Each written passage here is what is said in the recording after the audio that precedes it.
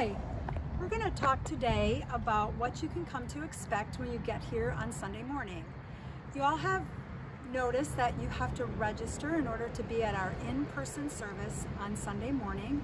You'll be asked a bunch of questions about your health and then also check that you've accepted our terms for coming to church as far as wearing a mask and keeping socially distanced from each other.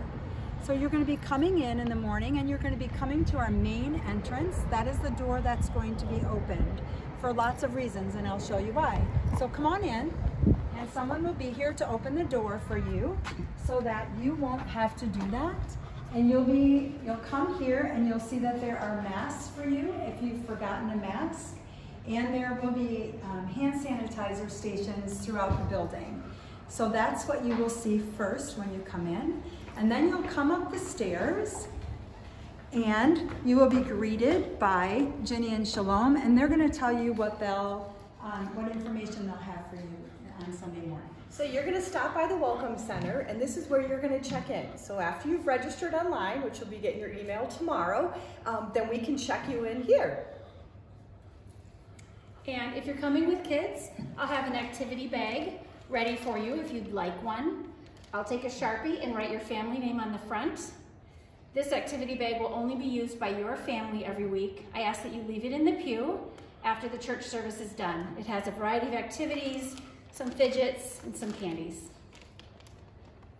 So after you've stopped at the welcome desk, then you can come in. And what's gonna be a little bit different for you on Sunday mornings is what we're gonna ask you to do is if you would like to sit towards the front of the sanctuary, to enter through the front door. That's also where you're going to be exiting. If you prefer to sit towards the back of the church, of the sanctuary, enter through the back door, and that's also where you, you will exit. So come on in, I'm gonna show you what the sanctuary looks like as far as how you'll know where to sit. So you'll notice that when you come in, there is tape across the pews. And the pews that we're marking off, and this is once again to keep us safe and socially distanced, is those pews will be closed and you'll be able to sit in the pew that is not taped off. You'll see the line kind of halfway down in the sanctuary, and that is kind of just a reminder that you're going to be, if you come in the front door, you're going to be sitting towards the front of the church.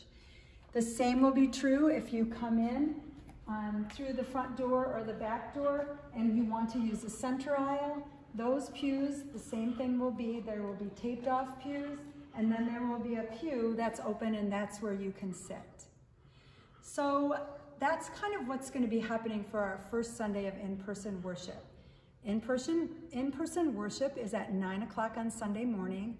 Our outdoor worship will be on Sunday, but it will be at 11 o'clock, not at 10 o'clock. We will be live streaming our in-person worship and that will be at nine. So if you're at home and worshiping at home, you'll be able to do that at nine o'clock or another time throughout the week because that will be posted on our website. We will keep you informed as things change and as, as we learn things and as COVID requirements and guidelines change. So we'll keep you posted through our website. If you have questions, feel free to give the office a call. Have a great week.